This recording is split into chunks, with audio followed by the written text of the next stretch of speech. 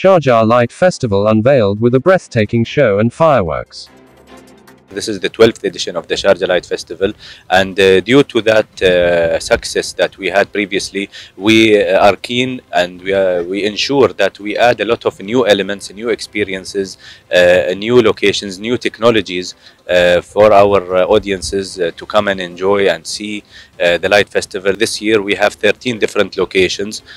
we have on the east coast in Kalba the Clock Tower, which is a new destination or new attraction, and then we have in Khorfak Al Rufaysa Dam on the mountain. We have a beautiful show on the mountain with the reflection uh, seen on the water. It's a beautiful show.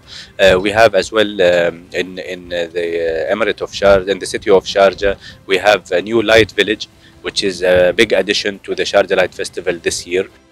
With the acquisition of Le Richemond Hotel in Geneva, Jumeirah Group expands its presence in Europe. Atout France launches an e-learning platform for the GCC travel trade we have to go beyond uh, the traditional destinations. So, uh, and we, we, we have to help the, the travel trade to think outside the box. But for this, we need to give them the right tools uh, uh and the right content uh, to design some uh, new itineraries, new packages for the clientele. In total, we're having 19 models.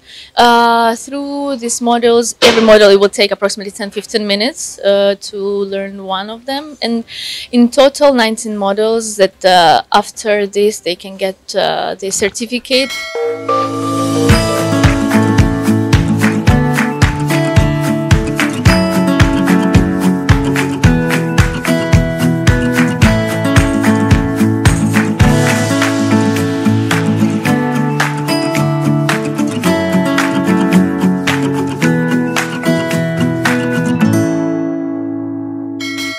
Al Sayara shares its expansion plans. As a car rental organization, we will also be moving into uh, Saudi very shortly and opening up its first office in the international segment.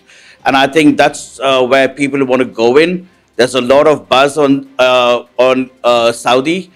Um, apart from that, we are also associated with a lot of airlines in this part of the world. We have tie-ups with Air Arabia, we have tie-ups with Emirates, we have tie-ups with uh, Janata at the moment, and now we are going to formulate a tie-up with Etihad as well.